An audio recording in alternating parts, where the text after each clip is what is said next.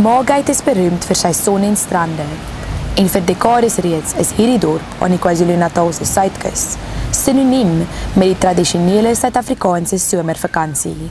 Maar een woord is onlosmaaklik verbind aan Margate. Matrix.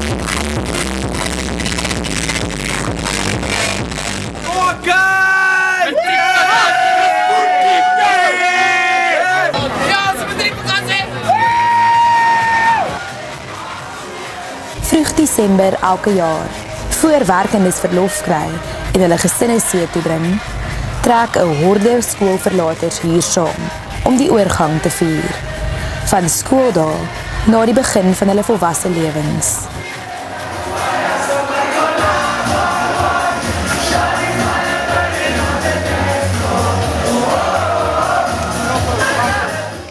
Dis matriekvakansie en soos duisende ander leerders het hierdie groep vriendinne van Tabazimbi hulle goed gepak vir 'n vakansie wat beloof om 'n bietjie anders te wees as die voriges. Ons is op matriekvakansie, uiteindelik klaar met matriek. Toesigloos en met geld tot hulle beskikking transformeer 'n magdom 18-jariges elke jaar die kroe en kuierplekke hier. Hoe laat staan julle wat op? Yes, lank so druk vroeg daai as hier? moontlik dat ons kan begin sy. ja. So vroeg is my ons net wakker, soos gaan die wekker af met jou bier dan kan jy weer slaap vir 'n uur. Elke keer gaan al wekker af net soos om drink en goed. En wat doen julle in die aande? Ons gaan uit, ons jam uit baby. Dis daar in die clubs en goed. Daar's girls oral en alles is dronk en gesels is maagdruk. Ja, wat maak jy? So Ja, jy- hier is die ja, hier is 'n plek om te wees, hoor. Ja, John. Ja, plate is gay vir almal. Ja. Wat 'n plate is, is vet gay. Snags tel dinge spoed op.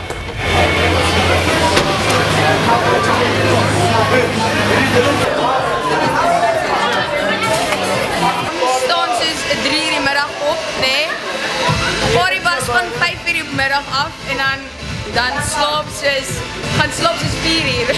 Wat sê, wat is hierdie party bus? Hierdie party was is ek weet nie maar of dit strippers wees, dis al wat ek. Die partybus is ongetwyfeld die rofste party op die dorp. En teen R260 per kop, 'n nagrit wat beloof om nuwe wêrelde vir 'n paar mense oop te maak. Dis inderwaarheid 'n toer van vyf verskillende venues, waarby elk 'n ander vorm van vermaak aangebied word.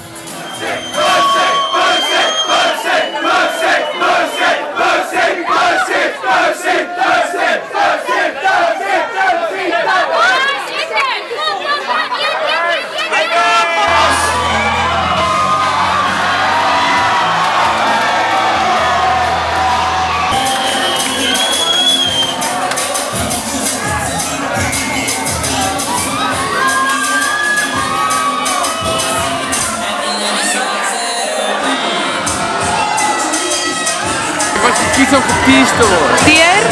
Die stripper. Met 'n handklop. Hoe was dit? Hy was al al bevange alweer, hè. Het jy dit geniet? Ja, so half en half. Dit was lekker. Vertel vir my meer van jou ervaring. Uh, sien so iets wat ek al ooit gehad het. Hy het Ek's nog een nie biker. hoor, hy het nie so hoor gekry. Ek's 'n biker, so ek het nooit baie gesien. Is jy is jy op matriekvakansie? Allee, ja, kus. En wat, waar kom je vandaan? Kenton Park.